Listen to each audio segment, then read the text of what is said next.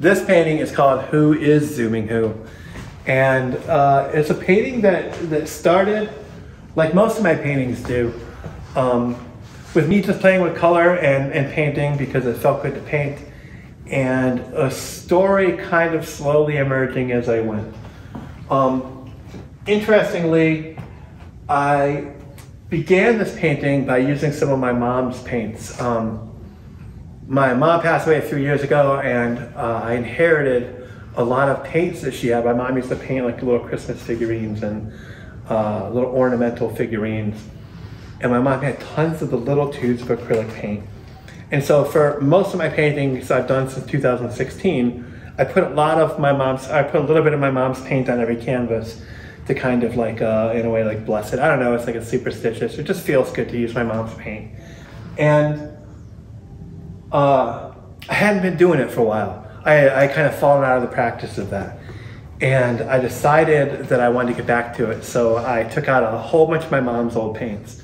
And after four years, they're starting to get dry and they're starting to um, go bad. And I was like, oh no, I better use these quick.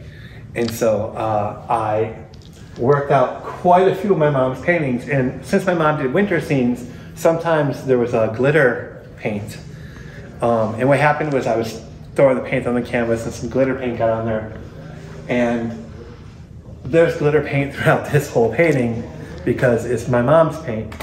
And it was mixed in and uh, I really play with it and I decided that I, I, really liked the way the light hit it and I really wanted to feature that.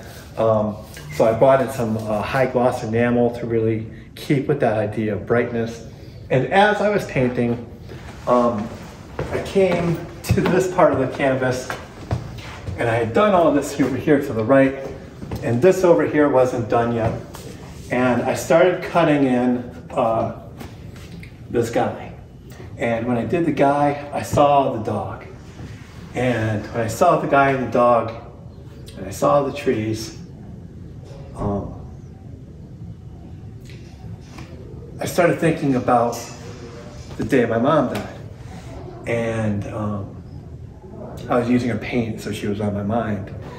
And uh, the day my mom died, we knew that we were gonna um, take her off the machines at like three o'clock that afternoon. That really impossible decision had been made the night before. And, um, you know, so like a lot of people, it, it happens, right? You like, you know what time your mom's gonna die. And so I woke up that morning at like nine in the morning and okay, well, six hours to my mom dies. It was a really weird feeling. I didn't know what to do. So I just grabbed the dog, went out of the house. I was like, I can't sit here in the house. I'm gonna go crazy. Uh, I took the dog down to the Metro Parks in Lakewood, and uh, the dog and I went for a walk, and it was a beautiful day. It was like such a gorgeous day. The sun was out. It was like the Metro Parks were like just like it was when I was a kid. Like it was like this magical, glorious, beautiful place. And uh, I was walking my dog, and I definitely thought at the time, like I am definitely like who is zooming who here? Like is the dog walking me or am I walking the dog? Like what's the leading force right now? Um, the dog's walking me. So I just kind of like went wherever he went uh, and let him make all the decisions and kind of like let him drag me around.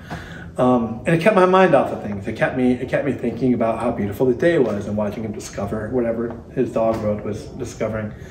Um, and so this is a painting that started out with me just kind of playing with textures and wanting to like remembering to use my mom's paints. And it was getting to the end of like, maybe I should start wrapping up like whatever the show is gonna be, whatever paintings I'm gonna use in the show.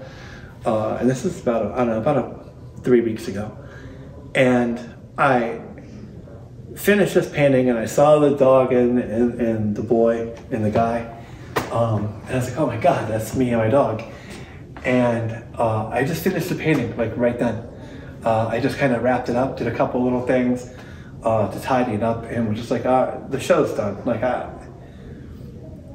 when I start painting things that are so meaningful to me, um, just through the process of doing it, right? Like, I know I've hit a point where I'm doing it right. Um, a lot of times, my paintings have meaning because I'm hearing and thinking about stuff as I'm doing it. Um, but I don't think I've ever had a painting so crystallized into a meaning as the last move, right? Like, like it snapped and it was like, oh, that's a painting of my mom, the day my mom died. Um, and it's beautiful. Uh, as far as to me, it's a bright, crisp painting that has sparkle in it next to a giant window, and it feels like the Valley did that day. It feels like the Metro Parks did that day. It's a, it's a definite like appreciation of the beauty of nature and the way the color works, and the way that uh, sometimes you can have the animal leading you uh, and just be along for the ride on it. Yeah, so that's uh, who is zooming who.